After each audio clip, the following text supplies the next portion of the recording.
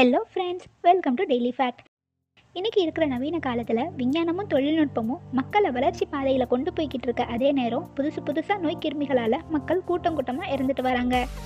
அப்படி புதுசு புதுசாக நோய் ஏற்படுறதுக்கு உணவு பழக்க வழக்கம் சுற்றுச்சூழல் பாதிப்பு வாழ்க்கை முறைன்னு பல காரணங்கள் சொன்னாலும் டாக்டர் சொல்கிற ஒரு முக்கியமான விஷயம் நோய் எதிர்ப்பு சக்தி. நம்ம உடம்பை பாதிக்கக்கூடிய கிருமிக்கிட்டேருந்து நம்மளை காத்துக்கொள்ள நம்ம உடம்புக்கு நோய் எதிர்ப்பு சக்தி ரொம்பவே முக்கியம். ஒரு நோய் வந்ததுக்கு அப்புறம் மாத்திரை மருந்து சாப்பிடாம வருமுன் காப்பதே சிறந்ததுன்னு சொல்றதுக்கு ஏற்ற மாதிரி சில ஆரோக்கியமான உணவு சாப்பிட்றதால நம்ம உடம்புல தேவையான நோய் எதிர்ப்பு சக்தியை அதிகரிக்க முடியும்.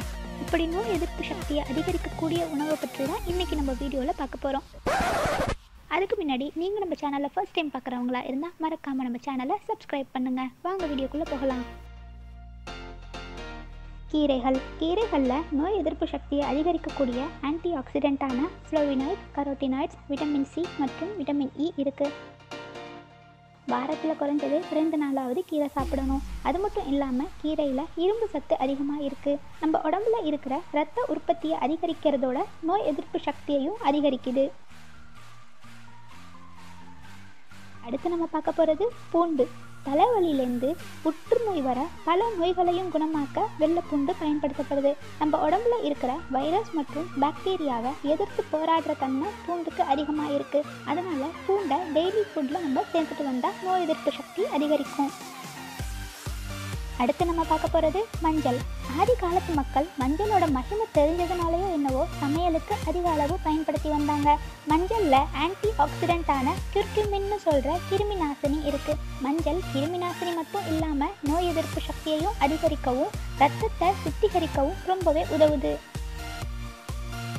அடுத்து நம்ம பார்க்க போகிறது வெங்காயம். வெங்காயத்தில் செலினியம்னு சொல்கிற ஒரு தாது சத்து இருக்குது அந்த தாது சத்து தான் நோய் எதிர்ப்பு செயல்பாட்டு தன்மையை தூண்டுது.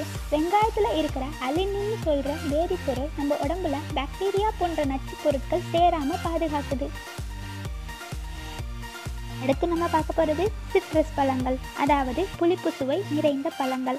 புளிப்பு சுவை இருக்கிற பழங்கள் அதாவது ஆரஞ்சு எலுமிச்சை நெல்லிக்காய் சாத்துக்குடி திராட்சை போன்ற பழங்களில் விட்டமின் சி அதிக அளவில் இருக்குது விட்டமின் சி அதிக அளவில் இருக்கிறதுனால நோய் எதிர்ப்பு சக்தியை அதிகரிக்குது. நோய் எதிர்ப்பு சக்தியை அதிகரிக்கிறதோட நோய் தொற்று ஏற்படுறதையும் தடுக்குது.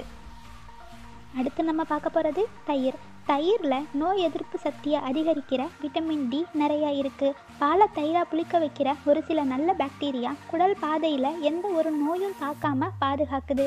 உடலில் இருக்கிற கிருமிகளை எதிர்த்து போராடுற வெள்ளை இரத்த அணுக்களோட எண்ணிக்கையையும் அதிகரிக்க செய்யுது. அது மட்டும் இல்லாமல் டெய்லி தயிர் சாப்பிட்டு வந்தால் செரிமான மண்டலமும் ரொம்ப நல்லாவே செயல்படும். அடுத்து நம்ம பார்க்க போகிறது பாதாம். பாதாமில் நோய் எதிர்ப்பு சக்தியை அதிகரிக்கிற விட்டமின் இ e மற்றும் விட்டமின் பி சத்துக்களான ரிபோஃப்ளவின் மற்றும் நியாசின் அதிகமாக இருக்குது பாதாமை தினமும் சாப்பிட்டு வந்தால் நோய் எதிர்ப்பு சக்தி அதிகரிக்கிறதோட ரத்தத்தில் இருக்கிற சர்க்கரையோட அளவும் கட்டுப்படுத்தும். அது மட்டும் இல்லாமல் பாதாம் நம்ம உடம்புல இருக்கிற கெட்ட கொலஸ்ட்ரால் அளவையும் கட்டுப்படுத்தி இருதய நோய் ஏற்படாமல் பாதுகாக்குது. கிரீன் டீ கிரீன் டீயில் ஆன்டி ஆக்சிடென்ட்டான விட்டமின் சி மற்றும் விட்டமின் பி இருக்குது டெய்லி கிரீன் டீ குடிச்சிட்டு வந்தால் நம்ம உடல் எடை குறையிறதோட சளி இருமல் போன்ற எந்த ஒரு பிரச்சனைகளும் வராமல் பாதுகாக்குது. இது மட்டும் இல்லாமல் புற்றுநோய் இருதய நோய் ஹைப்பர் டென்ஷன் போன்ற எந்த நோயையும் வராமல் தடுக்குது. நோய் எதிர்ப்பு சக்தியை அதிகரிக்க உணவு மட்டும் இல்லாமல் ரொம்ப முக்கியமான ரெண்டு விஷயம் தூக்கம் மற்றும் தண்ணீர்.